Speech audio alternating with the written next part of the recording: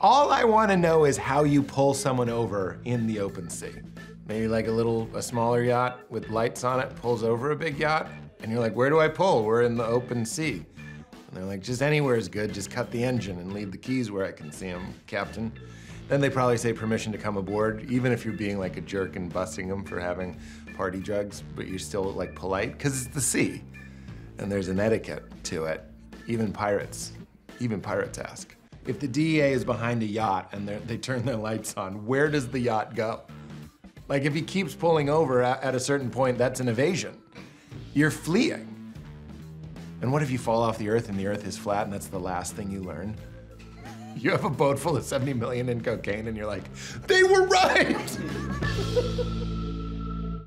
Some notes on Harry and Meghan, or the royal exit, or the royal Megxit, or whatever these British tabloids and the rest of the American papers have decided to do. For the love of the Queen's corgis, leave them alone. Let them move to Toronto, LA, in peace, okay? They wanna come here, they wanna act, they wanna sell things on Instagram, they wanna get free cars and drive them around and get paid for. That's fine, let them do it. We don't have to follow every single thing their dog is doing, their child is doing. I don't care where they're spending Thanksgiving. I don't even know where I'm spending Thanksgiving. It doesn't matter. We don't know them.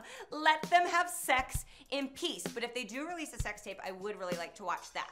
But up until that point, I'm out. I'm good. There are 75 housewives I care more about than Harry and Meghan. Hey, I'm Josh Wolf, and I've got notes on child prodigies. I don't like how much pressure is being put on kids nowadays to be exceptional or to be special in certain things. I'm gonna tell you something, as a parent, you want your kids to be dumb. They're easier to trick, it's funner to have them around. It's important to be honest with your kids about what they're good at. When I was young, me and my two brothers, we were drawing one day. My dad was like, you guys go draw some stuff. And they, we all drew superheroes, right? So my oldest brother walked in and my dad was like, this is really great, Dan. You're really good, you're really getting better. And my brother right above me, Jonathan, he walked in and he's a great artist. And my dad was like, you could do this for a living. This is exceptional. And I walked in and he was like, this isn't your thing. I would look for something else. And you know what? That's called good parenting, everybody. I never drew again. I didn't waste another fucking second of my life drawing Iron Man. You know what I mean? I found something else to do. I, I think I started smoking weed earlier than my brothers, but I don't think that has anything to do with the art. I've got notes for Elon Musk. He recently released a song or dropped a song called Don't Doubt Your Vibe. Uh, I always doubt my vibe. My vibe has been responsible for some of the worst advice I've ever gotten in my life. Your vibe will say things like, fuck that cop, or I'll just cut my own hair. Hey, you know who never doubted their vibe? Manson. The first thing I heard when Elon Musk dropped a song was, boy, that, that guy never doubts his vibe, does he? What's the name of the song? Oh, don't doubt your vibe. No. So please, always maintain a healthy skepticism in your vibe. I'll be dropping that song next week, as soon as I get my clarinet back. Hi, I'm Sara Weinshenk, and I got notes on burning your ex's clothes on Valentine's Day. Like, how pathetic are you? Like, you think this is the end of some epic romance, but you're just burning your ex's Weezer t shirt in the parking lot of a taco shop? How depressing if a homeless person walked by. You're like, you could have had this shirt, but it belonged to Brandon. what kind of satanic ritual are you doing? Are you like summoning the spirits of basic bitchness? Why are we doing all this passive aggressive shit, like burning people's clothes? Like, why not key their cars, slash their tires? Like, really go for it. You're making a scene when you could be making a difference. Leave a lasting impression so they never forget the romance.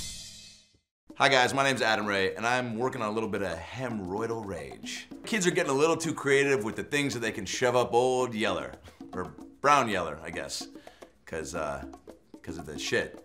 I do think that, uh, you know, it's insane that we've kind of gone from butt chuggers to butt vegans. You know, they are being cleaner with their, uh, their orifice entry objects. But you know what? Challenge accepted, kids. I see you trying to take things up a notch and message received. Here on Lights Out, comedians do not back down from challenges. I'm gonna shove this mini coffee table, card table, 69 uh, set uh, to, uh, I'm gonna shove it up my ass um, for my anxiety and uh, my whooping cough. Not because I'm weird, okay? I just uh, wanna, wanna be a part of the, the zeitgeist. So here we go.